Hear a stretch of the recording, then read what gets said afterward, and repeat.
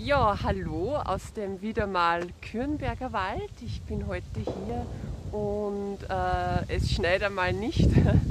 Dafür äh, ist es sehr windig und ich bin, ich bin, hier an einem Platz, wo ich äh, vor zwei Jahren meinen Geburtstag gefeiert ha äh, habe mit einigen Freunden. Wir haben da ein Picknick gemacht und ich habe Ende September Geburtstag und das war ein strahlender Sonnenscheintag hier. Und jetzt ist ein bisschen auf einer Anhöhe dieser Platz und äh, hier seht ihr meinen Lieblingsbaum im Hintergrund. Das ist eine Buche und ich komme sehr, sehr gerne an diesen Platz, um einfach in der Stille, in der Stille zu sein oder zu meditieren. Ich zeige euch jetzt nur, von hier oben hat man einen ganz besonderen Weitblick und Überblick. Man sieht da, ich weiß nicht, ob man das so erkennen kann, bis hinunter. Genau, ein ganz ein toller Platz. Ja, äh, ich möchte heute die Gelegenheit nutzen, euch von dieser schamanischen Wanderung zu erzählen, die ich anbiete. Äh, die findet morgen statt. Äh, die Plätze für morgen, die sind alle belegt. Äh, die nächste Wanderung wird aber am Samstag, den 17. Äh, März stattfinden.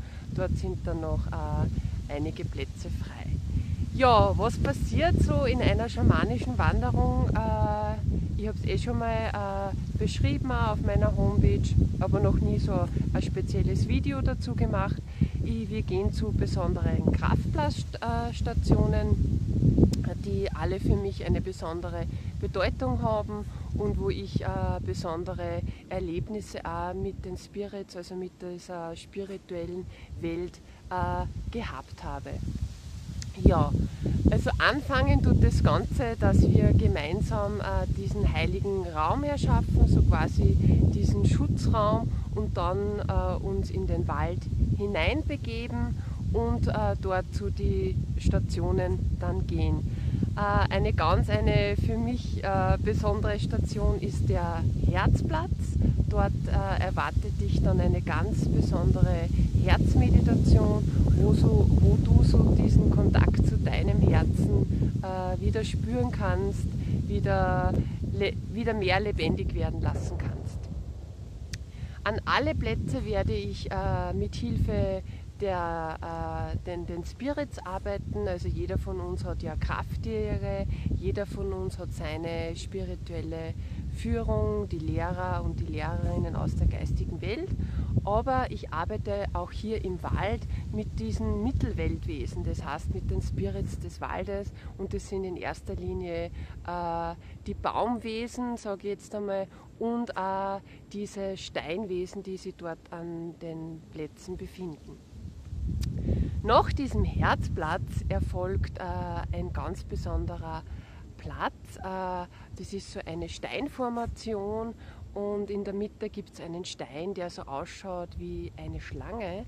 Drum habe ich, und dort wohnt auch der Schlangenspirit und dort werden wir besondere Loslassübungen machen, also alles, was dich beschäftigt, was du gerne loslassen möchtest, deine, deine Fesseln, deine inneren Hinderer, hast du da Gelegenheit, an diesem Platz loszulassen. Ja, die Reise geht dann weiter. Vom Loslassplatz gehen wir dann zu einem besonderen Baumplatz. Das äh, ist so eine Art Buchentor, wo du Gelegenheit hast, den neuen Schritt zu setzen mit Hilfe der Kraft der Bäume, der Buchen. Gehst du zu sagen, du sozusagen den ersten Schritt in das Neue hinein. Ja, nach diesem Platz werden wir dann eine kurze Pause machen und es geht dann weiter äh, zum letzten Platz, das ist der Platz der vielen Bäume, wo wir eben diese stille Baumkommunikation, die ich schon im letzten Video erklärt habe, miteinander durchführen.